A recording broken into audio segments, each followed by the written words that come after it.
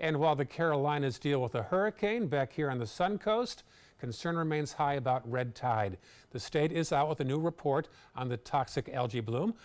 Our Marla Spence has an update for us. She's live along the coast with an update for us. Marla? Hey Ray, I'm live right off the Palma Sola Causeway and it looks fairly clean out here compared to what we've been seeing on Suncoast beaches so far. There are just a few dead fish and a few wildlife debris, but the Florida Fish and Wildlife says this is in no way any signs that red tide is slowing down. FWC's newest report shows high concentrations of red tide in samples collected along the shore in Sarasota and Manatee and Charlotte counties. Marine experts say this is an increase from last week in Sarasota and Charlotte counties.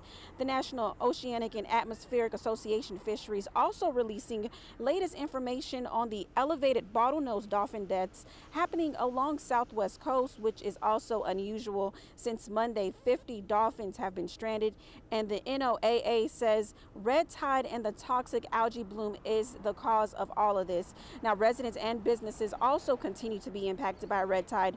One church on Anna Maria Island is doing its part to help as much as possible. Two weeks ago, Roser Church opened its doors to restaurant staff and just about anyone who's been impacted by red tide, and they have been giving away food from their church's food pantry.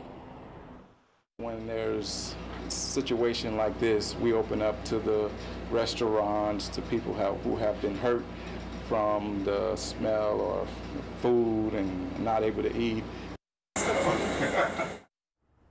And Charles Wade with Roser Church says just about all of the churches on the island have been coming together to help those in need throughout the county. Tomorrow, FWC will be releasing another red tide report, and we will let you know if there's any significant changes on red tide here on the Sun Coast. Ray?